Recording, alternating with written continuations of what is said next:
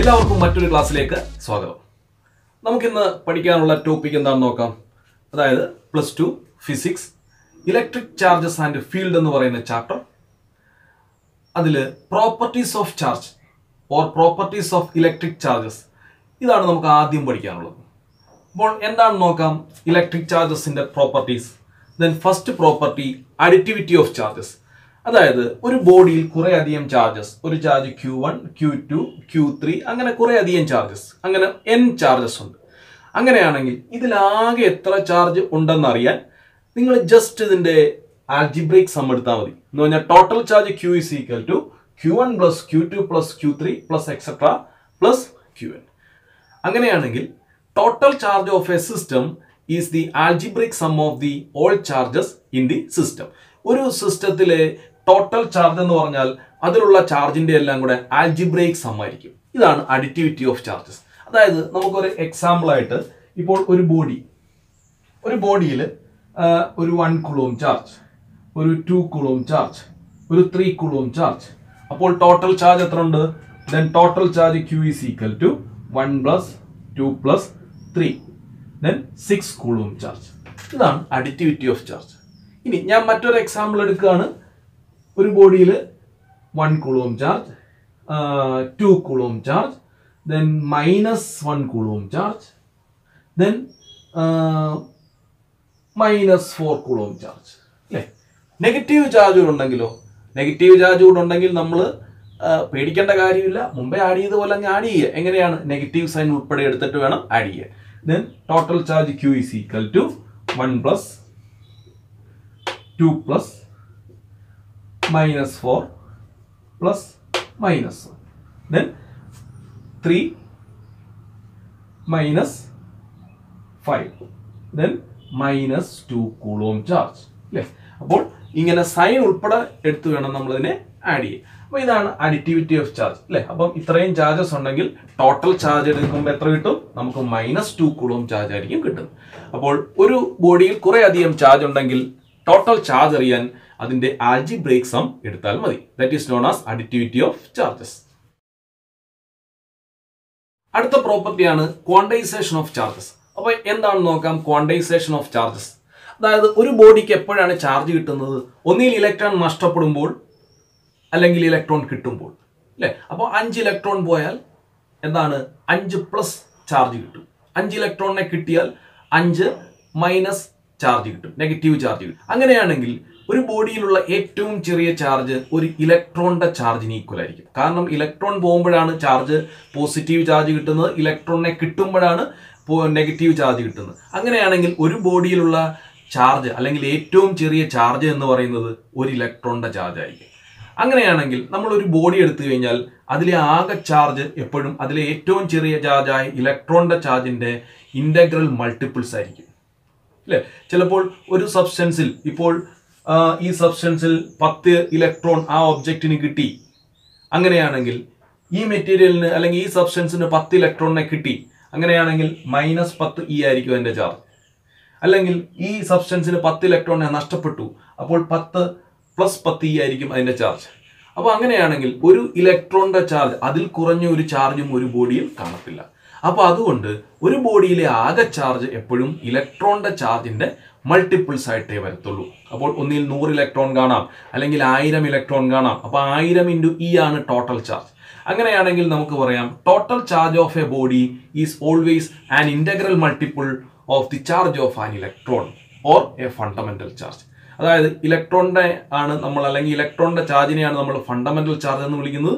അപ്പോൾ ഒരു ബോഡിയിലെ ആകെ ചാർജ് എപ്പോഴും ഇലക്ട്രോണിന്റെ ചാർജിന്റെ മൾട്ടിപ്പിൾസ് ആയിരിക്കും. ഇന്റഗ്രൽ മൾട്ടിപ്പിൾസ് ആയിരിക്കും. അതായത് നമുക്ക് എഴുതാൻ total charge Q is equal to plus or minus n into e ഈ എൻ എന്ന് പറയുന്നത് എപ്പോഴും ഒരു ഹോൾ നമ്പർ ആയിരിക്കും ഒരു പൂർണസംഖ്യ ആയിരിക്കും വൺ ടു ത്രീ അല്ലെ എക്സെട്ര ഇങ്ങനെയായിരിക്കും വരുന്നത്. ഇപ്പം എക്സാമ്പിൾ ആയിട്ട് നമ്മൾ പറഞ്ഞു കഴിഞ്ഞാൽ നമ്മൾ കുറച്ച് തേങ്ങ മേടിക്കുന്നു മേടിക്കുന്നില്ലേ? ഒന്നിൽ പത്ത് തേങ്ങ കാണും അല്ലെങ്കിൽ നൂറ് തേങ്ങ കാണും ഇല്ലേ? ഒരിക്കലും രണ്ടര തേങ്ങായോ മൂന്നര തേങ്ങയോ നമ്മൾ ഒരിക്കലും വാങ്ങാറില്ല അല്ലേ അപ്പോൾ എന്ന് പറഞ്ഞ പോലെയാണ് അര ഇലക്ട്രോൺ എന്ന് പറയുന്ന ഒരു സാധനമില്ല അപ്പം ഏറ്റവും ചെറിയ ചാർജ് ഒരു ഇലക്ട്രോണിന്റെ ചാർജാണ് അതിലും ചെറിയൊരു ചാർജ് ഇല്ല. അപ്പോൾ ഒരു ബോഡിയിൽ അതുകൊണ്ട് ഉള്ള ടോട്ടൽ ചാർജ് എപ്പോഴും ഇലക്ട്രോണിന്റെ ചാർജിന്റെ ഇന്റഗ്രൽ മൾട്ടിപ്പിൾസ് ആയിട്ടേ വരത്തുള്ളൂ. ഇലക്ട്രോണിന്റെ ചാർജാണ് ഈ ഇ എന്ന് പറയുന്നത്. Minus one point six into ten raise to minus nineteen കൂളോമാണ് ഒരു ഇലക്ട്രോണിന്റെ ചാർജ് ഒരു ബോഡിയിലെ ചാർജ് ക്വാണ്ടൈസ്ഡ് ആണോ എന്ന് അറിയാൻ വേണ്ടി നിങ്ങൾക്ക് ഒരു ബോഡിയിൽ നൂറ് കൂളോം ചാർജ് ഉണ്ട്. അത് ക്വാണ്ടൈസ്ഡ് ആണോ എന്ന് അറിയാൻ വേണ്ടി ഈ ഇക്വേഷൻ അത് സബ്സ്റ്റിറ്റ്യൂട്ട് ചെയ്യുക. നൂറ് കൂളോം ഇലക്ട്രോണിന്റെ ചാർജ് എന്നിട്ട് എൻ കണ്ടുപിടിക്കുക. എൻ ഹോൾ നമ്പർ ആണെങ്കിൽ ഒരു ബോഡിയിലെ ചാർജ് ക്വാണ്ടൈസ്ഡ് ആയിരിക്കും. അല്ലേ? എൻ ഹോൾ നമ്പർ ആയിരിക്കും കിട്ടുന്നത് എപ്പോഴും. അപ്പോൾ നമുക്കറിയാം ഇലക്ട്രോണിന്റെ charge minus one point six into ten raise to minus nineteen കൂളോമാണ് അപ്പൊ നമ്മളോട് ഒരാൾ പറയാണ് ഒരു ബോഡിയിലെ charge minus zero point eight into ten raise to minus nineteen കൂളോമാണ് ഇത് ശരിയായിരിക്കൂ? ആയിരിക്കില്ല. കാരണം എന്താണ്? ഏറ്റവും ചെറിയ ചാർജ് അല്ലെങ്കിൽ ഫണ്ടമെന്റൽ ചാർജ് എന്ന് പറഞ്ഞ ഒരു ഇലക്ട്രോണിന്റെ ചാർജ് ആണ്. ഇലക്ട്രോണിന്റെ charge one point six into ten raise to minus nineteen ആണ്. ഈ വൺ പോയിന്റ് സിക്സിന്റെ പകുതിയല്ലേ പോയിന്റ് എയ്റ്റ് അപ്പം ഇങ്ങനെ ചാർജുള്ള ഒരു ബോഡിയും കാണത്തില്ല. കാരണം ഇലക്ട്രോണിനേക്കാളിലും ചെറിയ ചാർജുള്ള അല്ലെങ്കിൽ അതായത് ഇലക്ട്രോണിനേക്കാളും ചെറിയൊരു ചാർജ് ഇല്ല. അതുകൊണ്ട് ഒരു ബോഡിയിലെ ടോട്ടൽ ചാർജ് എപ്പോഴും ഇലക്ട്രോണിന്റെ ചാർജിന്റെ ഇന്റഗ്രൽ മൾട്ടിപ്ലൈ അപ്പോൾ ചാർജസിന്റെ മൂന്നാമത്തെ പ്രോപ്പർട്ടിയാണ് കൺസർവേഷൻ ഓഫ് ചാർജസ് നമ്മൾ law of conservation of energy പഠിച്ചിട്ടുണ്ട് അല്ലേ energy can neither be created nor be destroyed അപ്പോൾ ചാർജസിന്റെ കേസിൽ charges can neither be created nor be destroyed. നമുക്ക് ചാർജസിനെ ക്രിയേറ്റ് ചെയ്യാനോ ഡിസ്ട്രോയ് ചെയ്യാനോ പറ്റത്തില്ല. Then for an isolated system total charge remains a constant ഒരു ഐസൊലേറ്റഡ് ആയിട്ടുള്ള സിസ്റ്റത്തിന്റെ ടോട്ടൽ ചാർജ് എപ്പോഴും എന്തായിരിക്കും? കോൺസ്റ്റന്റ് ആയിരിക്കും. അപ്പൊ എന്താണ് ഐസൊലേറ്റഡ് സിസ്റ്റം അല്ലേ അതായത് മറ്റുള്ളതിൽ നിന്നും വേർ അല്ലെങ്കിൽ മറ്റുള്ളതിൽ നിന്നും വേർതിരിച്ച ഒരു സിസ്റ്റത്തിനെയാണ് ഐസൊലേറ്റഡ് സിസ്റ്റം എന്ന് വിളിക്കുന്നത് എന്ന് പറഞ്ഞാൽ ഈ സിസ്റ്റത്തിന് മറ്റുള്ള സിസ്റ്റവുമായിട്ട് കോണ്ടാക്ട് ചെയ്യാൻ പറ്റത്തില്ല. ഇതിൽ നിന്നും ഒന്നും വേറെ എങ്ങോട്ടും പോകത്തില്ല. വെളിയിൽ നിന്നും ഒന്നും അകത്തേക്കും വരത്തില്ല. അപ്പോൾ അതാണ് ഐസൊലേറ്റഡ് സിസ്റ്റം. അപ്പോൾ ഞാനൊരു സ്പിയർ എടുത്തിരിക്കുകയാണ്. Metal sphere. ഇതിനെ ഞാനൊരു ഇൻസുലേറ്റിംഗ് സ്റ്റാൻഡിലാണ് വെച്ചിരിക്കുന്നത്. ഒരു പ്ലാസ്റ്റിക്കിന്റെ സ്റ്റാൻഡിലാണ്. അപ്പോൾ നമുക്കറിയാം മെറ്റൽസിൽ നിന്നും ഈ ഒരു ഇൻസുലേറ്റർ കൊടുത്ത ചാർജസ് ഒന്നും പുറത്തേക്ക് പോകത്തില്ല. അപ്പോൾ അങ്ങനെ ഒരു മെറ്റൽ സ്പിയർ ഞാൻ വെച്ചിരിക്കുകയാണ്. ഇതൊരു ഐസൊലേറ്റഡ് സിസ്റ്റമാണ് എന്ന് പറഞ്ഞാൽ പുറത്തേക്ക് ഈ ഇവിടെ നിന്ന് പുറത്തേക്ക് ചാർജ് പോത്തുമില്ല വെളിയിൽ നിന്നൊന്നും ചാർജ് അകത്തേക്കും വരത്തില്ല. അതിനുള്ള അഡ്ജസ്റ്റ്മെന്റ് അറേഞ്ച്മെന്റ് ഒക്കെ ഞാൻ ഇവിടെ ചെയ്തിട്ടുണ്ട്. അങ്ങനെയാണെങ്കിൽ എത്ര വർഷം കഴിഞ്ഞാലും ഇതിനകത്തിൽ ഇപ്പോൾ പത്ത് കുളവും ഉണ്ടെങ്കിൽ എത്ര വർഷം കഴിഞ്ഞാലും ഇത് പത്ത് കുളവുമായിട്ട് തന്നെ നിൽക്കും. കൂടത്തുമില്ല കുറയത്തുമില്ല. കാരണം എന്താണ്? ചാർജസിനെ ആർക്കും ക്രിയേറ്റ് ചെയ്യാൻ പറ്റത്തില്ല അതുപോലെ തന്നെ ചാർജസിനെ ഡിസ്ട്രോയ് ചെയ്യാനും പറ്റത്തില്ല. അല്ലേ? അപ്പോൾ നമ്മളൊരു ബോഡിയിൽ എങ്ങനെയാണ് ചാർജ് വരുന്നത്? അതായത് ഒരു ബോഡിയിൽ നിന്നും ഇലക്ട്രോൺ എങ്ങോട്ടെങ്കിലും പോയാൽ മാത്രമേ പോസിറ്റീവ് ചാർജ് കിട്ടൂ. അതുപോലെ തന്നെ പുറത്തുനിന്ന് കുറച്ച് ഇലക്ട്രോൺസ് ഒരു ബോഡിയിലേക്ക് വന്നാൽ അതിന് നെഗറ്റീവ് ചാർജ് കിട്ടും. അല്ലാതെ നമുക്ക് പോസിറ്റീവ് ചാർജ് ക്രിയേറ്റ് ചെയ്തെടുക്കാനൊന്നും പറ്റത്തില്ല. നിങ്ങൾക്ക് പോസിറ്റീവ് ചാർജ് എവിടെയെങ്കിലും മേക്ക് ചെയ്യണമെങ്കിൽ എന്ത് ചെയ്യണം? അവിടുന്ന് ഇലക്ട്രോണിനെ അങ്ങോട്ടെങ്കിലും കളയണം. അപ്പോൾ അവിടെ പോസിറ്റീവ് ചാർജ് ആവും. അല്ലാതെ എവിടുന്നും ഇലക്ട്രോണിനെ കളയാതെയും എങ്ങൂന്നും ഇലക്ട്രോണിനെ മേടിക്കാതെയും കുറച്ച് പോസിറ്റീവ് ചാർജ് ഉണ്ടാക്കാമെന്ന് വെച്ചാൽ സാധിക്കില്ല. അതുപോലെ തന്നെ നിങ്ങൾക്ക് നെഗറ്റീവ് ചാർജ് ഉണ്ടാക്കണം. അല്ലെ? ഒരു ബോഡിയിൽ നെഗറ്റീവ് ചാർജ് കൊടുക്കണം. എവിടെ നിന്നെങ്കിലും ഇലക്ട്രോണിനെ അങ്ങോട്ട് കൊണ്ടുവരണം. അല്ലാതെ ഒരു ബോഡി എടുത്തു വെച്ചിട്ട് ആ കുറച്ച് നെഗറ്റീവ് ചാർജ് വരട്ടെ എന്ന് പറഞ്ഞാൽ ആ ബോഡിയിൽ അത് വരത്തില്ല. അങ്ങനെ ചാർജസിനെ നമുക്ക് ക്രിയേറ്റ് ചെയ്യാനും പറ്റത്തില്ല. അതുപോലെ ഉള്ള ചാർജിനെ ഡിസ്ട്രോയ് ചെയ്യാനും പറ്റത്തില്ല. അതായത് ഇപ്പൊ ഇവിടെ തന്നെ ഈ ടെൻ കുളോം ചാർജ് ഇവിടെ വെച്ചേക്കാണ്. സ്വയം ചാർജ് ക്രിയേറ്റ് ചെയ്യാൻ പറ്റുമായിരുന്നെങ്കിൽ എന്ത് സംഭവിക്കുമായിരുന്നു? കുറച്ച് സമയം കഴിയുമ്പോൾ ഇതിനകത്തിലെ ചാർജ് ചിലപ്പം പ്ലസ് ഇലവൻ കുളവുമായിട്ട് മാറിയേനെ. അതുപോലെ ചാർജസ് ഡിസ്ട്രോയ് ചെയ്യാൻ പറ്റുമായിരുന്നെങ്കിലോ പ്ലസ് ടെൻ ഉള്ളത് ചിലപ്പോൾ പ്ലസ് നയൻ കുളവുമായിട്ട് കുറഞ്ഞേനെ. രണ്ടും സംഭവിക്കുന്നില്ല. കാരണം എന്താണ്? ഒരു ഐസൊലേറ്റഡ് സിസ്റ്റത്തിന്റെ ചാർജസ് ചേഞ്ച് ചെയ്യുന്നില്ല. കോൺസ്റ്റന്റ് ആണ്. അതുകൊണ്ട് നമുക്ക് പറയാം ചാർജസിനെ നമുക്ക് ക്രിയേറ്റ് ചെയ്യാനും പറ്റില്ല ഡിസ്ട്രോയ് ചെയ്യാനും പറ്റില്ല. ഇല്ലേ? ഇപ്പൊ നിങ്ങൾ ഒരു റൂമിനകത്തിൽ അടച്ചിട്ടിരിക്കുകയാണ്. നൂറ് രൂപ പോക്കറ്റിൽ വെച്ച് തന്നു. അല്ലേ രണ്ട് ദിവസം കഴിഞ്ഞ് തുറന്നു വിടുമ്പോഴും പോക്കറ്റിൽ നൂറ് രൂപ കാണും. നൂറ് രൂപ കൂടത്തുമില്ല കുറയത്തുമില്ല. കൂടുകയോ കുറയോ ചെയ്യാം. എങ്ങനെയാണെങ്കിൽ നിങ്ങൾക്ക് തന്നെ ഈ നോട്ട് പ്രിന്റ് ചെയ്യാൻ അറിയാമെങ്കിൽ അല്ലേ? അപ്പോൾ നമുക്ക് ഈ പൈസ ക്രിയേറ്റ് ചെയ്യാനോ ഡിസ്ട്രോയ് ചെയ്യാനോ പറ്റത്തില്ല. നിങ്ങൾ നിങ്ങളുടെ കയ്യിലിരിക്കുന്ന നൂറ് രൂപ മറ്റുള്ള ആൾക്ക് കൊടുത്തിട്ട് നമുക്ക് എന്തെങ്കിലും സാധനം വാങ്ങിക്കാം. അല്ലാതെ നൂറ് രൂപ നമുക്ക് കീറി കളയാൻ പറ്റത്തില്ല. പോലീസ് പിടിക്കും അല്ലേ? അപ്പോൾ എന്ന് പറഞ്ഞ പോലെ എന്താണ്? ഈ ഐസൊലേറ്റഡ് ആയിട്ടുള്ളൊരു സിസ്റ്റത്തിൽ ഉള്ള ടോട്ടൽ ചാർജ് കോൺസ്റ്റന്റ് ആണ്. അതുകൊണ്ട് നമുക്ക് പറയാം ചാർജസിനെ ക്രിയേറ്റ് ചെയ്യാനോ ഡിസ്ട്രോയ് ചെയ്യാനോ നമുക്ക് പറ്റില്ല എന്ന്. അപ്പോൾ അതാണ് law of conservation of charge charges can neither be created nor be destroy for an for an isolated system total charge remains constant then this is known as conservation of charges അടുത്തതായി നമുക്ക് പഠിക്കാനുള്ളത് methods of charging conductors കണ്ടക്ടേഴ്സിനെ നമുക്ക് എങ്ങനെയൊക്കെ charge ചെയ്യാം? അതാണ് നമുക്ക് ഇനി അടുത്തത് പഠിക്കാനുള്ളത്. അപ്പോൾ എന്താണ് കണ്ടക്ടേഴ്സ് കണ്ടക്ടേഴ്സിന്റെ പ്രത്യേകത ഒത്തിരി ഫ്രീ ഇലക്ട്രോൺസ് അതിൽ കാണും. അല്ലേ? ഏകദേശം ഒരു ten raise to twenty three ten raise to twenty three conduction electrons per centimetre cube എന്ന് പറഞ്ഞാൽ ഒരു സെന്റിമീറ്റർ ക്യൂബ് എന്ന് പറഞ്ഞാൽ ഒരു സെന്റിമീറ്റർ നീളവും ഒരു സെന്റിമീറ്റർ വീതിയും ഒരു സെന്റിമീറ്റർ പൊക്കവുമുള്ള ഒരു ക്യൂബ് നിങ്ങൾ സങ്കല്പിക്കുക ഇമാജിൻ ചെയ്യുക. അതാണ് വൺ സെന്റിമീറ്റർ ക്യൂബ് ഈ വൺ സെന്റിമീറ്റർ ക്യൂബ് സ്പേസിൽ ഒരു ten raise to twenty three free electrons ഒക്കെ ഉണ്ടെങ്കിൽ നമുക്കതിനെ എന്ത് വിളിക്കാം? കണ്ടക്ടേഴ്സ് എന്ന് വിളിക്കാം. കണ്ടക്ടേഴ്സിൽ ഒത്തിരി ഫ്രീ ഇലക്ട്രോൺസ് കാണും. എന്നാൽ ഒരു സെന്റിമീറ്റർ ക്യൂബ് വോളിയത്തിൽ ഒരു ten raise to ten to ten raise to twelve free ഇലക്ട്രോൺസേ ഉള്ളൂ. കണ്ടക്ഷൻ ഇലക്ട്രോൺസേ ഉള്ളൂ. അങ്ങനെയാണെങ്കിൽ അവരെ സെമി കണ്ടക്ടേഴ്സ് എന്ന് വിളിക്കുക അപ്പോൾ സെമി കണ്ടക്ടേഴ്സിൽ ഫ്രീ ഇലക്ട്രോൺസിന്റെ എമൗണ്ട് കുറവാണ്. അതുപോലെ തന്നെ ഒരു സെന്റിമീറ്റർ ക്യൂബ് വോളിയത്തിൽ ഒരു വൺ കണ്ടക്ഷൻ ഇലക്ട്രോൺ ഒക്കെ ഉള്ളെങ്കിൽ ഒരു കണ്ടക്ഷൻ ഇലക്ട്രോണേ ഒക്കെ ഉള്ളൂ അല്ലെങ്കിൽ ഒരു ഫ്രീ ഇലക്ട്രോൺ ഒക്കെ ഉള്ളെങ്കിൽ നമുക്കതിനെ ഇൻസുലേറ്റേഴ്സ് എന്ന് വിളിക്കാം. അപ്പോൾ ഇൻസുലേറ്റേഴ്സിലൂടെ ഇലക്ട്രിസിറ്റി അത്ര പെട്ടെന്ന് നമുക്ക് പാസ് ചെയ്യാൻ പറ്റില്ല. അപ്പോൾ ഒരു ഒരാൾ കണ്ടക്ടറും ഇൻസുലേറ്ററും സെമി കണ്ടക്ടറും ഒക്കെ ആകുന്ന എങ്ങനെയാണ്? അതിലെ ഫ്രീ ഇലക്ട്രോൺസ് വെച്ചിട്ടാണ്.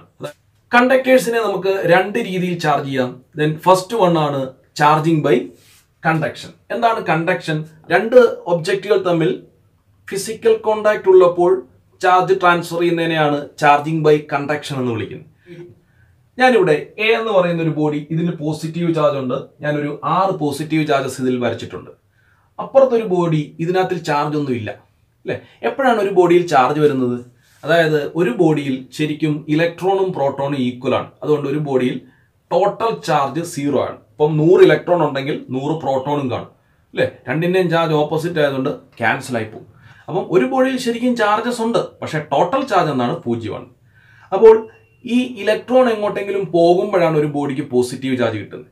അപ്പോൾ നമ്മൾ ആ അങ്ങനെയുള്ള ചാർജിനെ എക്സസ് ചാർജ് അല്ലെങ്കിൽ അധിക ചാർജ് എന്നാണ് പറയുന്നത് അല്ലേ? അതായത് ഈ ബോഡിയിൽ ആറ് പോസിറ്റീവ് ചാർജ് ഉണ്ടെന്ന് വെച്ച് കഴിഞ്ഞാൽ ഇവിടുത്തെ ആറ് ഇലക്ട്രോൺ എങ്ങോട്ടോ പോയി. അങ്ങനെയാണ് ഇയാൾ പോസിറ്റീവ് ചാർജ് ഉള്ള ബോഡിയായിട്ട് മാറിയത്. അപ്പോൾ ഇവിടെ പ്രോ പോസിറ്റീവ് പ്രോട്ടോൺസിനെ അപേക്ഷിച്ച് ഇലക്ട്രോൺസ് അല്പം കുറവാണ്. ആറ് ഇലക്ട്രോൺ കുറവാണ്. അതുകൊണ്ടാണ് ഇയാൾക്ക് പോസിറ്റീവ് ചാർജ് കിട്ടിയത്.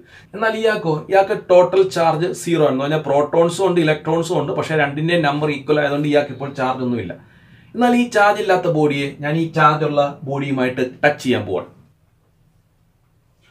അപ്പോൾ നമ്മളൊരു കാര്യം ഇവിടെ ശ്രദ്ധിക്കണം. നമ്മൾ ഈ രണ്ട് മെറ്റൽസിനെയും രണ്ട് ഇൻസുലേറ്റിംഗ് സ്റ്റാൻഡിലാണ് വെച്ചിരിക്കുന്നത്. കാരണം എന്താണ്? ഈ കണ്ടക്ടർ ആണിത് മെറ്റൽസ് അല്ലേ? കണ്ടക്ടേഴ്സ് ആണിത്. അപ്പോൾ ഈ ചാർജസ് എർത്തിലോട്ട് അങ്ങ് കണ്ടക്ട് ചെയ്തു പോകും അങ്ങനെ പോകാതിരിക്കാൻ വേണ്ടി ഒരു പ്ലാസ്റ്റിക്കിന്റെ വല്ല ഒരു സ്റ്റാൻഡിലാണ് നമ്മൾ ഈ രണ്ട് ഒബ്ജക്റ്റുകളെയും വെച്ചിരിക്കുന്നത്.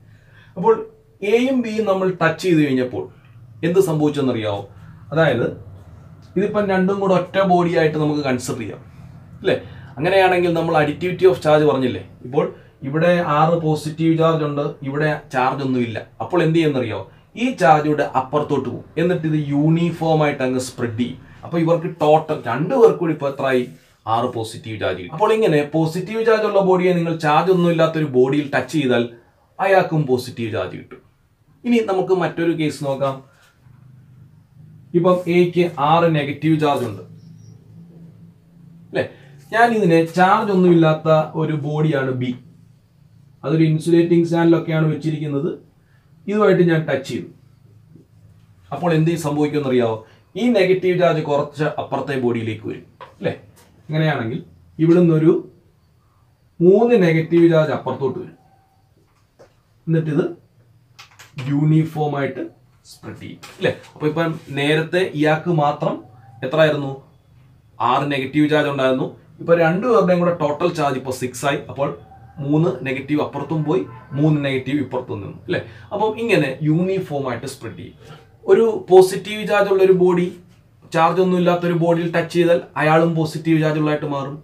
അതുപോലെ നെഗറ്റീവ് ചാർജ് ഉള്ള ബോഡി ചാർജ് ഒന്നും ഇല്ലാത്ത ഒരു കണ്ടക്ടറിൽ ടച്ച് ചെയ്താൽ അയാളും എന്തായിട്ട് മാറും? നെഗറ്റീവ് ചാർജ് ഉള്ളതായിട്ട് മാറും. അടുത്തതായി നമുക്ക് ചാർജിങ് ബൈ ഇൻഡക്ഷൻ ആണ്. അതായത് ഫിസിക്കൽ കോണ്ടാക്ട് ഇല്ലാതെ ചാർജ് ചെയ്യുന്നതിനാണ് ചാർജിങ് ബൈ ഇൻഡക്ഷൻ എന്ന് വിളിക്കുന്നത്. ചാർജ് ഉള്ള ബോഡി ചാർജസിനെ മറ്റൊരു ബോഡിയിലേക്ക് ഇൻഡ്യൂസ് ചെയ്യുകയാണ് ചെയ്യുന്നത് പ്രേരണം ചെയ്യുക. അപ്പോൾ അങ്ങനെ ഫിസിക്കൽ കോണ്ടാക്ട് ഇല്ലാത്തുള്ള ചാർജിങ് ആണ് ചാർജിങ് ബൈ ഇൻഡക്ഷൻ ദെൻ എന്ന് പറയുന്ന ഒരു ബോഡി ഇതിന് പോസിറ്റീവ് ചാർജസ് ആണുള്ളത് നോക്കുക. പോസിറ്റീവ് ചാർജസ് അല്ലേ? അത് ഞാൻ ബി എന്ന് പറയുന്ന ഒരു ബോഡിയാണ് അതിന് ഇപ്പോൾ ചാർജ് ഒന്നുമില്ല അങ്ങനെ ഒരു ബോഡിക്ക് അടുത്ത് ഞാൻ ഇതിനെ കൊണ്ടുവച്ചു. തൊട്ടടുത്താണ് വെച്ചിരിക്കുന്നത്. അപ്പോൾ നമുക്കറിയാം ഒരു ബോഡിയിൽ പോസിറ്റീവ് ചാർജസും കാണും അല്ലേ? ഇപ്പോൾ കുറേ പോസിറ്റീവ് ചാർജസും നെഗറ്റീവ് ചാർജസും ഇങ്ങനെ യൂണിഫോം ആയിട്ട് ഇതിനകത്തിൽ ഇങ്ങനെ സ്പ്രെഡ് ചെയ്തിരിക്കുകയാണ്. അതുകൊണ്ടാണ് ഇതിന്റെ ടോട്ടൽ ചാർജ് സീറോ എന്ന് നമ്മൾ പറഞ്ഞത്. എന്നാൽ പോസിറ്റീവ് ചാർജ് ഉള്ള ഒരു ബോഡി നമ്മൾ ഇവിടെ കൊണ്ടുവച്ചാൽ ഇതിന്റെ അട്രാക്ഷൻ കാരണം ഇതിലെ ഇലക്ട്രോൺസ് നെഗറ്റീവ് ചാർജസ് എല്ലാം ഈ പോസിറ്റീവ് ചാർജ് ഉള്ള എൻഡിലേക്ക് പോകും? അപ്പോൾ ഈ വശത്ത് ഇലക്ട്രോൺസിന്റെ ഡെൻസിറ്റി കൂടുതലായി അങ്ങനെ ഈ എൻഡ് നെഗറ്റീവായിട്ട് മാറും. അപ്പോൾ അപ്പുറത്ത് ഇലക്ട്രോൺസിന്റെ നമ്പർ കുറവായത് കാരണം അവിടെ പോസിറ്റീവ് ചാർജ് ക്രിയേറ്റ് ചെയ്യും ഇങ്ങനെ പോസിറ്റീവ് ചാർജ് ഉള്ള ഒരു ബോഡിയെ ചാർജ് ഒന്നുമില്ലാത്ത ഒരു ബോഡിയുടെ അടുത്ത് കൊണ്ടുവച്ചാൽ ഈ പോസിറ്റീവ് ചാർജ് ബോഡി വെച്ചിരിക്കുന്നതിന്റെ നിയർ എൻഡ് നെഗറ്റീവ് ചാർജ് ഉള്ളതായിട്ട് മാറും. എന്നാൽ ഓപ്പോസിറ്റ് എൻഡിൽ ഇതേ ചാർജ് തന്നെ പ്രൊഡ്യൂസ് ചെയ്യും. പോസിറ്റീവ് ചാർജ് തന്നെ പ്രൊഡ്യൂസ് ചെയ്യും. ഞാൻ നെഗറ്റീവ് ചാർജ് ഉള്ള ഒരു ബോഡിയെ ചാർജ് ഒന്നും ഇല്ലാത്ത ഒരു ബോഡിയുടെ അടുത്ത് കൊണ്ടുവന്നു. അപ്പോൾ എന്ത് സംഭവിക്കും? ഇതിനകത്ത് ഇതിൽ പോസിറ്റീവും നെഗറ്റീവും ചാർജസ് ഒക്കെ ഉണ്ട്. അവരെ യൂണിഫോം ആയിട്ട് സ്പ്രെഡ് ചെയ്തിരിക്കുകയാണ്. അതുകൊണ്ടാണ് ടോട്ടൽ ചാർജ് ഇവിടെ സീറോ ചാർജ് ഒന്നും ഇപ്പോൾ ഇല്ല. എക്സസ് ചാർജ് ഇല്ല. അധിക ചാർജ് ഇല്ല. എന്നാൽ ഞാൻ ഈ നെഗറ്റീവ് ചാർജ് ഉള്ള ബോഡിയെ ഇതിന്റെ അടുത്ത് കൊണ്ടുവരുമ്പോൾ നെഗറ്റീവുമായിട്ട് റിപ്പൾഷൻ ആണ് ഇലക്ട്രോൺസിന് ഇല്ലേ? ഇലക്ട്രോൺസും ഇലക്ട്രോൺസും ഒരേ ചാർജ് അല്ലേ? അപ്പോൾ അവർ തമ്മിൽ റിപ്പൾഷൻ ആണ്. ഈ ഇലക്ട്രോൺസിന്റെ റിപ്പൾഷൻ കാരണം ഇതിലെ കുറച്ച് ഇലക്ട്രോൺസ് ഓപ്പോസിറ്റ് എൻഡിലേക്ക് നീങ്ങും. അങ്ങനെയാണെങ്കിൽ ഈ എൻഡിൽ ഇലക്ട്രോൺസിന്റെ ഡെൻസിറ്റി കുറഞ്ഞ കാരണം ഇവിടെ എന്തുണ്ടാവും? പോസിറ്റീവ് ചാർജസ് ഉണ്ടാവും. അപ്പോൾ ഇത്രയേ ഉള്ളൂ. നെഗറ്റീവ് ചാർജ് ഉള്ള ഒരു ബോഡി നിങ്ങൾ ഒരു ചാർജും ഇല്ലാത്ത ഒരു കണ്ടക്ടറിന്റെ അടുത്ത് കൊണ്ടുവച്ചാൽ എന്ത് സംഭവിക്കും? അതായത് ഈ നെഗറ്റീവ് ചാർജ് ബോഡി ഇരിക്കുന്നതിന്റെ നിയർ എൻഡ് പോസിറ്റീവ് ചാർജ് ഉള്ളതായിട്ട് മാറും. ഓപ്പോസിറ്റ് എൻഡ് സെയിം ചാർജ് അല്ലെങ്കിൽ നെഗറ്റീവ് ചാർജ് ഉള്ളതായിട്ട് മാറും. അപ്പോൾ ഈ കണ്ടക്ടേഴ്സിനെ ചാർജ് ചെയ്യുന്നതിനെ കുറിച്ച് നമുക്ക് ഇങ്ങനെ പറയാം. രണ്ട് രീതിയിൽ ചാർജ് ചെയ്യാം. ചാർജിങ് ബൈ കണ്ടക്ഷനും ചാർജിങ് ബൈ ഇൻഡക്ഷനും കണ്ടക്ഷൻ വഴി ചാർജ് ചെയ്യുന്നത് ഫിസിക്കൽ കോൺടാക്ട് വഴിയുള്ള ചാർജിങ് ആണ്. അപ്പോൾ പോസിറ്റീവ് ചാർജ് ഉള്ള ഒരു ബോഡിയാണ് നിങ്ങൾ യൂസ് ചെയ്യുന്നതെങ്കിൽ അത് ടച്ച് ചെയ്യുന്ന ബോഡിയും പോസിറ്റീവ് ആവും. നെഗറ്റീവ് ചാർജ് ഉള്ള ഒരു ബോഡിയാണെങ്കിൽ അത് ടച്ച് ചെയ്യുന്ന ആ കണ്ടക്ടറും എന്തായിട്ട് മാറും? നെഗറ്റീവ് ചാർജ് ഉള്ളതായിട്ട് മാറും. അതുപോലെ തന്നെ ഇൻഡക്ഷൻ വഴിയുള്ള ചാർജിങ് എന്ന് പറഞ്ഞാൽ ഫിസിക്കൽ കോൺടാക്ട് ഇല്ലാതെയുള്ള ചാർജിങ് ആണ് ഇൻഡക്ഷൻ വഴി. അപ്പോൾ ഇൻഡക്ഷൻ വഴി ചാർജ് ചെയ്താൽ പോസിറ്റീവ് ചാർജ് ഉള്ള ബോഡിയാണ് ഒരു കണ്ടക്ടറിന്റെ അടുത്ത് കൊണ്ടുവെക്കുന്നതെങ്കിൽ ഇതിന്റെ നിയർ എൻഡ് എന്തായിട്ട് മാറും? നെഗറ്റീവും ഫാർദർ എൻഡ് പോസിറ്റീവുമായിട്ട് മാറും. അതുപോലെ തന്നെ നിങ്ങളിപ്പോൾ നെഗറ്റീവ് ചാർജ് ഉള്ള ഒരു ബോഡിയാണ് ചാർജ് ഒന്നും ഇല്ലാത്ത ഒരു കണ്ടക്ടറിന് അടുത്ത് കൊണ്ടുവെക്കുന്നതെങ്കിൽ ആ അതിന്റെ നിയർ എൻഡ് പോസിറ്റീവും ഫാർദർ എൻഡ് എന്തായിട്ട് മാറും? നെഗറ്റീവുമായിട്ട് മാറും അല്ലേ? അപ്പം നിയർ എൻഡിൽ ഓപ്പോസിറ്റ് ചാർജും ഫാർദർ എൻഡിൽ സെയിം ചാർജും പ്രൊഡ്യൂസ് ചെയ്യും. ഇതാണ് ചാർജിങ് ബൈ ഇൻഡക്ഷനും ചാർജിങ് ബൈ കണ്ടക്ഷനും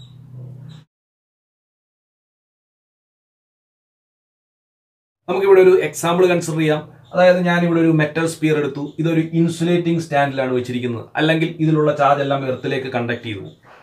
ഇതിന്റെ അടുത്ത് ഞാൻ പോസിറ്റീവ് ചാർജ് ഉള്ള ഒരു ബോഡി കൊണ്ടുവച്ചു എന്ത് സംഭവിക്കും? ഈ പോസിറ്റീവ് ചാർജിന്റെ അട്രാക്ഷൻ കാരണം ഇതിലെ നെഗറ്റീവ് ചാർജസ് എല്ലാം ഈ എൻഡിലേക്ക് നീങ്ങും. അല്ലേ? അപ്പൊ ഇതിന്റെ ഓപ്പോസിറ്റ് എൻഡ് ഇതല്ലേ? ഇവിടെ പോസിറ്റീവ് ചാർജും വരും. ഈ എൻഡിൽ ഞാൻ അഞ്ച് നെഗറ്റീവ് ചാർജസ് വരച്ചിട്ടുണ്ട്. ഈ എൻഡിൽ അതുപോലെ അഞ്ച് പോസിറ്റീവ് ചാർജസ് അല്ലേ? ഇങ്ങനെ ഇത് ചാർജ് ചെയ്യും. ഞാൻ ഇനിയും ഈ അറേഞ്ച്മെന്റ് ഇങ്ങനെ വെച്ചുകൊണ്ട് തന്നെ എർത്തിലേക്ക് ഒരു വയർ കണക്ട് ചെയ്യാൻ പോവാണ്. എർത്ത് എന്ന് പറഞ്ഞാൽ എന്താണ്? ഇലക്ട്രോൺ ബാങ്ക് ആണ്. ഇഷ്ടം പോലെ ഇലക്ട്രോൺസ് നമുക്ക് എർത്തിൽ നിന്നും കിട്ടും. എത്ര ഇലക്ട്രോൺസിനെ വേണമെങ്കിലും എർത്തിലേക്ക് കൊടുക്കാം. അപ്പോൾ ഞാൻ എർത്തിലേക്ക് ഇത് കണക്ട് ചെയ്യുമ്പോൾ ഈ പോസിറ്റീവ് ചാർജസിന്റെ അട്രാക്ഷൻ കാരണം കുറച്ച് ഇലക്ട്രോൺസ് ഇതുവഴി കയറി വന്ന് ഈ പോസിറ്റീവ് ചാർജസ് ഇലക്ട്രോൺ നഷ്ടപ്പെട്ടുകൊണ്ടല്ലേ പോസിറ്റീവ് ചാർജ് വന്നത് അല്ലേ? അവിടെ ഇലക്ട്രോൺസിനെ അങ്ങ് ഫില്ല് ചെയ്യും. അങ്ങനെ ഈ പോസിറ്റീവ് ചാർജ് എല്ലാം അങ്ങ് ഇല്ലാതെയാവും.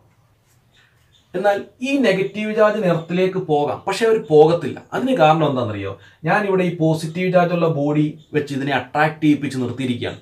ഈ ബോഡി മാറ്റിയാൽ ഈ നെഗറ്റീവ് ചാർജുടെ എർത്തിലേക്ക് അങ്ങ് പോകും. പക്ഷെ ഇപ്പോൾ പോകുന്നില്ല. ഈ പോസിറ്റീവ് ചാർജ് ഉള്ള ബോഡി ഇവിടെ ഇരിക്കുന്നുണ്ട്. ഞാൻ ഇനി എന്താ ചെയ്യുന്നതെന്ന് നോക്കാം. ഞാൻ ഇനിയും പതിയെ ഈ എർത്തിങ് അങ്ങ് മാറ്റി. എർത്തിങ് അങ്ങ് മാറ്റി. എന്നിട്ട് അതായത് ഈ നെഗറ്റീവ് ചാർജസ് എന്തുകൊണ്ടാണ് ഇവിടെ നിൽക്കുന്നത്? ഈ പോസിറ്റീവ് ചാർജ് ഉള്ള ബോഡി ഇവിടെ നിൽക്കുന്നതുകൊണ്ടാണ്. ഞാൻ ഈ പോസിറ്റീവ് ചാർജ് ഉള്ള ബോഡി അങ്ങ് മാറ്റി. ഈ പോസിറ്റീവ് ചാർജ് ഉള്ള ബോഡി മാറ്റി കഴിയുമ്പോൾ ഈ അഞ്ച് ഇലക്ട്രോൺസ് ഈ മെറ്റൽ സ്പിയറിന്റെ സർഫസിൽ ഇങ്ങനെ യൂണിഫോം ആയിട്ട് സ്പ്രെഡ് ചെയ്യുന്ന കാണാം. ഇങ്ങനെ യൂണിഫോം ആയിട്ട് സ്പ്രെഡ് ചെയ്യുന്ന കാണാം. ഞാനപ്പോൾ ഇവിടെ ചെയ്തത് എന്താണ്? ഒരു പോസിറ്റീവ് ചാർജ് ഉള്ള ഒരു ബോഡി വെച്ചിട്ട് ഒരു കണ്ടക്ടറിനെ ഒരു മെറ്റൽ സ്പിയറിനെ നെഗറ്റീവ് ചാർജ് ഉള്ള സ്പിയർ ആക്കി മാറ്റി. ഇങ്ങനെ നിങ്ങൾക്ക് നെഗറ്റീവ് ചാർജ് ഉള്ള ഒരു ബോഡി വെച്ചിട്ട് നിങ്ങൾക്ക് മറ്റൊരു സ്പിയറിനെ പോസിറ്റീവ് ചാർജ് ഉള്ള ആക്കി മാറ്റാം അല്ലേ അപ്പോൾ ഇങ്ങനെ നമുക്ക് ഇത് അപ്ലൈ ചെയ്യാൻ പലയിടത്തും അല്ലേ ഒരു ബോഡിയിൽ ഉള്ള ചാർജസിനെ ഡിറ്റക്ട് ചെയ്യാൻ വേണ്ടിയും അതിനെ മെഷർ ചെയ്യാൻ വേണ്ടിയും ഒക്കെ യൂസ് ചെയ്യുന്ന ഒരു ഡിവൈസ് ആണ് ഗോൾഡ് ലീഫ് ഇലക്ട്രോസ്കോപ്പ് അപ്പോൾ ഇത് എന്താണെന്ന് നോക്കാം? ഇതിനകത്തിലൊരു മെറ്റൽ റോഡുണ്ട് ഈ മെറ്റൽ റോഡിന്റെ എൻഡിൽ രണ്ട് ഗോൾഡ് ലീവ്സ് ഉണ്ട്. ഇങ്ങനെ ബെൻഡ് ചെയ്തിരിക്കുന്ന രണ്ട് ഗോൾഡ് ലീവ്സ് അതുപോലെ ഇതിന്റെ മുകളിൽ ഒരു മെറ്റൽ ഡിസ്ക് ഉണ്ട്. ഇത്രയും കാര്യങ്ങളാണ് ഇതിലെ അറേഞ്ച്മെന്റ്സ് നമ്മൾ ആദ്യം ഇതിനെ ചാർജ് ചെയ്യുന്നു. ഞാൻ ഈ ഇലക്ട്രോസ്കോപ്പിനെ പോസിറ്റീവായിട്ട് ചാർജ് ചെയ്യുന്നു. ഇല്ലേ? എന്ത് ചെയ്താൽ മതി? പോസിറ്റീവ് ചാർജ് ഉള്ള ഒരു ബോഡി ഇതിൽ കൊണ്ട് ടച്ച് ചെയ്യിപ്പിച്ചാൽ മതി. ഇത് ഫുൾ പോസിറ്റീവ് ചാർജ് ഉള്ളതായിട്ട് മാറും. പോസിറ്റീവായിട്ട് ചാർജ് ചെയ്തു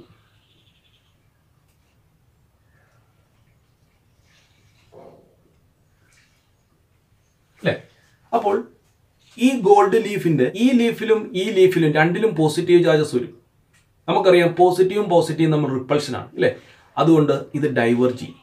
അപ്പോൾ ഇതിങ്ങനെ ഡൈവേർജ് ചെയ്ത് നിൽക്കുന്നതായിട്ട് കാണാം. ഈ ലീവ്സ് ഇങ്ങനെ ഡൈവേർജ് ചെയ്യുന്നതായിട്ട് കാണാം. നമ്മൾ ഗോൾഡ് ഉപയോഗിക്കാൻ കാരണം ഗോൾഡിനെ നമുക്ക് വളരെ തിൻ ഷീറ്റാക്കി മാറ്റാം അല്ലേ? അപ്പോൾ അതുകൊണ്ട് ഇതിന് മാലിയബിലിറ്റി കൂടുതലാണ്. അതുകൊണ്ടാണ് ഗോൾഡ് നമ്മൾ യൂസ് ചെയ്യുന്നത്. അപ്പോൾ അങ്ങനെ ഇതിങ്ങനെ ഡൈവേർജ് ചെയ്ത് നിൽക്കും. ഇനി ഇനിയുമാണ് നമ്മൾ ഇപ്പം മൊബൈലൊക്കെ യൂസ് ചെയ്യുന്നതിന് മുമ്പ് ഒന്ന് ചാർജ് ചെയ്യണമെന്ന് പറയത്തില്ല? എന്ന് പറഞ്ഞ പോലെ ഇതിനെ നമുക്കൊന്ന് പോസിറ്റീവായിട്ട് ചാർജ് ചെയ്യും ഇനി നമ്മൾ പോസിറ്റീവ് ചാർജ് ഉള്ളൊരു ബോഡി ടെസ്റ്റ് ചെയ്യാൻ വേണ്ടി കൊണ്ടുവരിക നമുക്കറിയില്ല ഈ ബോഡിയിൽ ഏത് ചാർജാണ് നമ്മളിപ്പം പോസിറ്റീവ് ചാർജ് ഉള്ള ഒരു ബോഡിയാണ് ഇതിന്റെ അടുത്തേക്ക് കൊണ്ടുവരുന്നതെങ്കിൽ ഇത് ടച്ച് ചെയ്യേണ്ട ഈ ഈ മെറ്റൽ ഡിസ്കിന്റെ അടുത്ത് കൊണ്ടുവച്ചാൽ മതി. ഇൻഡക്ഷൻ വഴിയാണ് നമ്മൾ ഇതിനെ ചെക്ക് ചെയ്യുന്നത്. അപ്പോൾ നമുക്കറിയാം പോസിറ്റീവ് ചാർജ് ഉള്ള ഒരു ബോഡി കൊണ്ടുവച്ചാൽ എന്ത് സംഭവിക്കും? നിയർ എൻഡിൽ നെഗറ്റീവും ഓപ്പോസിറ്റ് എൻഡിൽ പോസിറ്റീവും ഉണ്ടാവും. ഒരെൻഡ് ഇതാണ്. ഈ എൻഡിൽ അപ്പോൾ നെഗറ്റീവ് ചാർജസ് ക്രിയേറ്റ് ചെയ്യും. അതുപോലെ തന്നെ ഇതിന്റെ ഓപ്പോസിറ്റ് എൻഡ് ഇവിടെ അല്ലേ വരുന്നത് ഇവിടെ പോസിറ്റീവ് ചാർജസും ക്രിയേറ്റ് ചെയ്യും. അല്ലേ? അപ്പോൾ നേരത്തെ തന്നെ ഈ ഗോൾഡ് ലീഫിൽ പോസിറ്റീവ് ചാർജസ് ഉണ്ടായിരുന്നു. അത് കാരണം അവരിപ്പോൾ ഡൈവേർജ് ചെയ്തിരിക്കുകയാണ്. ഇപ്പോൾ വീണ്ടും പോസിറ്റീവ് ചാർജസ് വന്നു. അത് കാരണം വീണ്ടും ഡൈവേർജ് ചെയ്യും. അല്ലേ? അപ്പോൾ അങ്ങനെയാണെങ്കിൽ നിങ്ങൾ പോസിറ്റീവായിട്ട് ചാർജ് ചെയ്തിരിക്കുന്ന ഒരു ഇലക്ട്രോസ്കോപ്പിന്റെ അടുത്തേക്ക് പോസിറ്റീവ് ചാർജ് ഉള്ള ഒരു ബോഡി കൊണ്ടുവന്നാൽ കൂടുതൽ ഇതിവർ ഡൈവേർട്ട് ചെയ്യും. അപ്പോൾ നമുക്ക് മനസ്സിലാകാം അതേ ചാർജ് ഉള്ള ബോഡിയാണ് ഇവിടെ വന്നിരിക്കുന്നത്. ഇനി ഞാൻ ഇവിടേക്ക് നെഗറ്റീവ് ചാർജ് ഉള്ള ഒരു ബോഡി ടെസ്റ്റ് ചെയ്യാൻ വേണ്ടി കൊണ്ടുവരികയാണ്. അപ്പോൾ ഞാൻ ഇവിടെ നെഗറ്റീവ് ചാർജ് ഉള്ള ഒരു ബോഡി കൊണ്ടുവച്ചു. അപ്പോൾ നെഗറ്റീവ് ചാർജ് ഉള്ള ബോഡി കൊണ്ടുവന്നാൽ ഇൻഡക്ഷൻ വഴി എങ്ങനെയാണ്? ഇത് ടച്ച് ചെയ്യുന്നില്ല അടുത്ത് കൊണ്ടുവെക്കുകയേ ഉള്ളൂ. ഇൻഡക്ഷൻ വഴിയാണ് ഇവിടെ ചാർജ് അപ്പോൾ ഇൻഡക്ഷൻ വഴി ചാർജ് ചെയ്യുമ്പോൾ നെഗറ്റീവ് ചാർജ് ഉള്ള ബോഡി കൊണ്ടുവച്ചാൽ അതിന്റെ നിയർ എൻഡ് പോസിറ്റീവ് ആയിട്ട് മാറും ഓപ്പോസിറ്റ് എൻഡ് നെഗറ്റീവ് ആയിട്ട് മാറും അല്ലേ? അപ്പോൾ അങ്ങനെയാണെങ്കിൽ ഇതാണ് നിയർ എൻഡ് അത് പോസിറ്റീവ് ആയിട്ട് മാറും. ഇതിന്റെ ഓപ്പോസിറ്റ് എൻഡ് ഇതല്ലേ? ഇത് നെഗറ്റീവ് എന്ന് പറഞ്ഞാൽ ഇവിടെ കുറെ നെഗറ്റീവ് ചാർജസ് വരും. അങ്ങനെയാണെങ്കിൽ ഇവിടെ വന്ന പോസിറ്റീവും നെഗറ്റീവും ഈ പോസിറ്റീവും നെഗറ്റീവും ഈ പോസിറ്റീവും നെഗറ്റീവും ഈ പോസിറ്റീവും നെഗറ്റീവും ഒക്കെ അങ്ങ് ക്യാൻസൽ ആയി. അല്ലേ അങ്ങനെയാണെങ്കിൽ ഇവിടെ ഇപ്പോൾ കുറച്ച് പോസിറ്റീവ് ചാർജസ് അല്ലേ ഉള്ളൂ. അപ്പോൾ ഈ പോസിറ്റീവ് ചാർജസിന്റെ റിപ്പൾഷൻ കാരണമാണ് ഈ ലീഫ് ഇങ്ങനെ ഡൈവേർജ് ചെയ്ത് നിന്നത്. ഇപ്പം പോസിറ്റീവ് ചാർജസിന്റെ എമൗണ്ട് കുറഞ്ഞു. അതുകൊണ്ട് ഇത് കൊളാപ്സ് ചെയ്യും. അല്ലേ അങ്ങനെയാണെങ്കിൽ ഇവരുടെ ഈ ഡൈവർജൻസ് കുറയും. ഈ ലീവ്സ് ഇങ്ങനെ കൊളാപ്സ് ചെയ്യും. കാരണം ഇപ്പോൾ കുറച്ച് പോസിറ്റീവ് ചാർജസേ ഉള്ളൂ. അപ്പോൾ നമ്മൾ പറഞ്ഞതാണ് പോസിറ്റീവായിട്ട് ചാർജ് ചെയ്ത ഒരു ഇലക്ട്രോസ്കോപ്പിന്റെ അടുത്തേക്ക് നെഗറ്റീവ് ചാർജ് ഉള്ള ബോഡിയാണ് കൊണ്ടുവരുന്നെങ്കിൽ ഈ ലീഫിന്റെ ആ ഡൈവർജൻസ് കുറയും. അപ്പോൾ പോസിറ്റീവ് ചാർജ് ഉള്ള ഒരു ഗോൾഡ് ലീഫ് ഇലക്ട്രോസ്കോപ്പിന്റെ അടുത്തേക്ക് പോസിറ്റീവ് ചാർജ് ഉള്ള ബോഡി കൊണ്ടുവന്നാൽ ഡൈവർജൻസ് കൂടും നെഗറ്റീവ് ചാർജ് ഉള്ള ബോഡി കൊണ്ടുവന്നാൽ ഡൈവർജൻസ് കുറയും. ഇവിടെ രണ്ട് ചാർജ് ഉള്ള മെറ്റൽ സ്പീറുകൾ. ഒന്നിന്റെ സൈസ് അഞ്ച് സെന്റിമീറ്റർ ആണ് ഡയമീറ്റർ അടുത്തതിന്റെ അഞ്ച് സെന്റിമീറ്റർ ഡയമീറ്റർ ഉള്ള രണ്ട് സ്പീറുകളാണ് ഈ രണ്ട് സ്പീറുകളെ ഞാൻ രണ്ടും ചാർജുള്ള സ്പീറുകളാണ് ഈ രണ്ട് സ്പീറുകളെ ഞാൻ ഒരു അഞ്ഞൂറ് സെന്റിമീറ്റർ ഡിസ്റ്റൻസിൽ വെച്ചിരിക്കുന്നു. അല്ലേ? അപ്പോൾ ഈ അഞ്ഞൂറ് സെന്റിമീറ്റർ ഡിസ്റ്റൻസുമായി കമ്പയർ ചെയ്യുമ്പോൾ നമ്മുടെ ഈ അഞ്ച് സെന്റിമീറ്റർ നെഗ്ലക്ട് ചെയ്യാൻ പറ്റുന്നേ ഉള്ളൂ അല്ലേ അങ്ങനെയാണെങ്കിൽ നിങ്ങൾ ഈ അഞ്ച് സെന്റിമീറ്റർ സൈസ് എടുക്കണ്ട. ഈ രണ്ട് ചാർജുള്ള ഉള്ള സ്പിയറുകളെ രണ്ട് പോയിന്റുകളായിട്ട് മാത്രം കൺസിഡർ ചെയ്യാം.